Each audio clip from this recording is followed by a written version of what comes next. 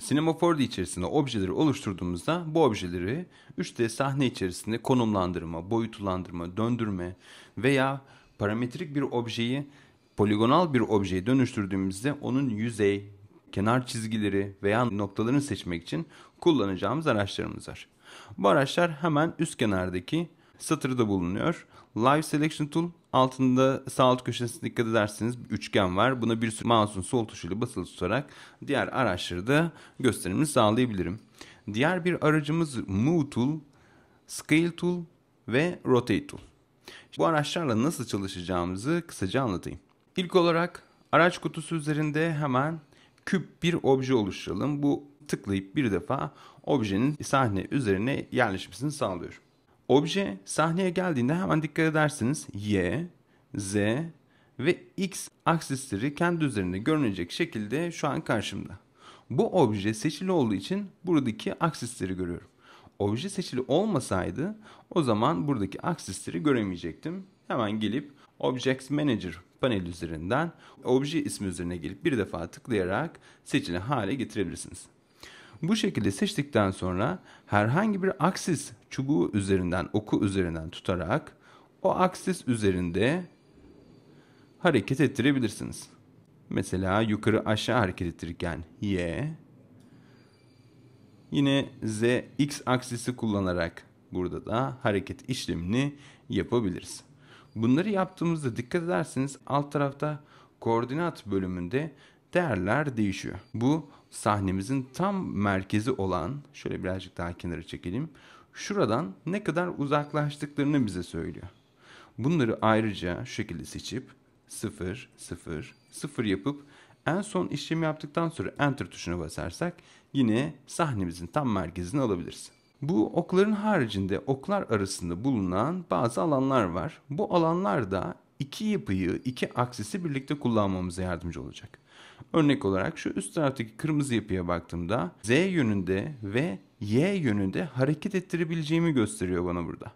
Bu şekilde buradaki yapıya doğru imleci sürükleyip oklar beyaz olduğunda mouse'un sol tuşuyla tıklayıp gördüğünüz gibi yukarı ve Z yönünde hareket ettirebiliyorum. Klavyeden komut Z yaparak bir adım geri alalım. Tam olarak merkezi geri dönüş yaptık. Şimdi Z ve X yönünde hareket ettirelim. Bakın herhangi bir şekilde yukarı veya aşağı doğru bir konumlandırma işlemi yapmıyor. Sadece yüzey üzerinde geziniyor. Komut Z bir adım geri ve X ve Y yönünde de hareketi yine sağlayabiliriz. Konumlandırma işlemini sağlayabiliriz. Komut Z ile yine merkeze geçiş yapıyorum. Buradaki konumlandırma, boyutlandırma ve döndürme araçlarını çok fazla kullanacağız. Bunları da video eğitiminin başında da söylediğim gibi bir eliniz mouse'daysa diğer eliniz de klavyenin üstünde olmak zorunda. Buradaki konumlandırma işlemi için kullanacağımız move aracı E harfiyle aktif olur. Scale işlemi için kullanacağımız şu araç hemen bakın tip altında da yazıyor shortcut T harfi diyor. T harfiyle aktif olur. Herhangi bir alana yazı yazmıyorsanız tabii ki de. Ve rotate içinde R harfini kullanıyoruz. Şimdi scale T harfiyle geçiş yaparak scale işlemlerine bakalım. Şu anda model yapısı seçili olduğu için sol kenarda görebiliyorum şurada. Bu seçili olduğu için aksislerin üzerinde bakın turuncu noktalar var. Bu noktalar Mu aracı seçiliyken de vardı. Evet bakın aynı şekilde yine onlar da var. Buradaki turuncu noktalardan scale aracına geçiş yapmadan da şu şekilde objeyi boyutlandırabilirim. Burada boyutlandırma için kullanacağımız araç scale.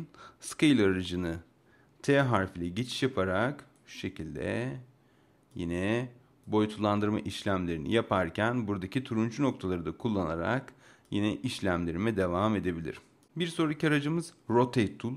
Rotate Tool'da klavyedeki R harfiyle geçiş yapıyoruz. R harfiyle geçiş yaptıktan sonra yine bunun üzerinde de X, Z ve Y koordinat aksisleri var.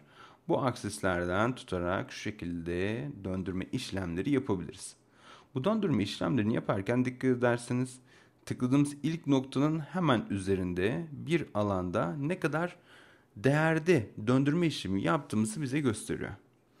Bunu eğer adım adım gitmesini isterseniz döndürme işlemine başladıktan sonra klavyeden shift tuşuna basarsanız 10 derece 10 derece artacak şekilde burada da görmüş olduğunuz gibi döndürme işlemi yapabilirsiniz.